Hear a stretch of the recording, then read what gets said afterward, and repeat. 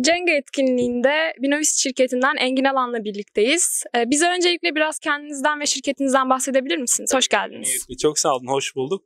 E, keyifli bir ortama karşılandım. Bu beni çok mutlu etti bir defa. E, işin özünde bilgisayar mühendisleriyle beraberiz ve ben de bir bilgisayar mühendisiyim.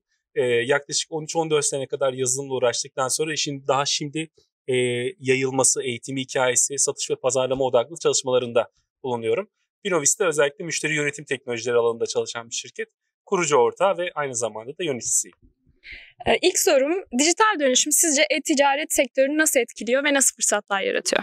E, e-ticaret aslına bakarsanız hız demek ve şu an pek çok işletme eninde sonunda mutlaka kendini e-platformlara taşıyacak. Taşımak zorunda kalacak. E, süre gelen ticaret faaliyetini aslında orada yapmak zorunda. Bu da bize neyi sağlayacak? Bir defa müşterinin aslında hızlı eriştiği ürüne, ürünle ilgili bir sıkıntısı olduğunda da çabuk response dediğimiz bir e, karşı duyumu iletmesi ve bunların yönetilmesi konuları karşımıza çıkıyor. Dolayısıyla e-ticarette dijital dönüşüm birebir örtüşen konular ve firmalar özellikle şu an algılama boyutunda henüz hala e, bunun zaman içerisinde daha iyi kavranacağını, sizin gibi genç arkadaşların da buna fayda sağlayacağını düşünüyorum. Ee, peki mezun olduktan sonra iş hayatına ilk adım attığınız adaptasyon süreci sizin için nasıl oldu? Sizin bu döneminiz nasıldı genel olarak? Ee, ilk başlangıçta çok umut verici gibi olmuyor. İyi hazırlanmış ve not ortalaması yüksek bir öğrenci olmama rağmen ki birkaç tane de proje bitirmiştim e, üniversite mezuniyetime kadar. E, dört buçuk ay gibi bir süre toplamda iş arayışım oldu. Sonradan keşfettiğim bir noktadır genç arkadaşlar da bunu hani iyi dinlesin diye söylüyorum.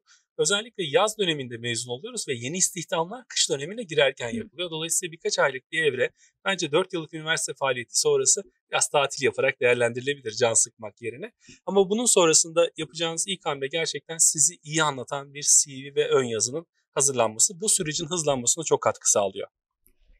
Peki e, şirkete özel bir soru. Bilovit şirketinin kurucu ortağı olarak inovatif fikirleri olan gençlere destekte bulunuyor musunuz yoksa şirketin profesyonelliği için sadece kalifiye elemanlara mı şans veriyorsunuz? Şimdi bu noktada özellikle hani altını çizmek isterim. Şirketin kalifiye işler yapması, kalifiye personel barındırması gibi bir olgu benim çok inandığım bir olgu değil. Çünkü mesleki olarak uzmanlaştıkça hepimiz aslında mesleki körlüğe doğru gidiyoruz.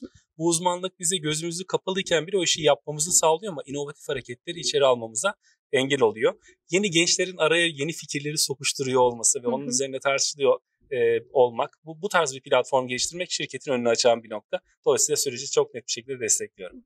Çok teşekkür ederiz geldiğiniz için ve bizimle röportaj yapmayı kabul ettiğiniz için. Çok sağ olun.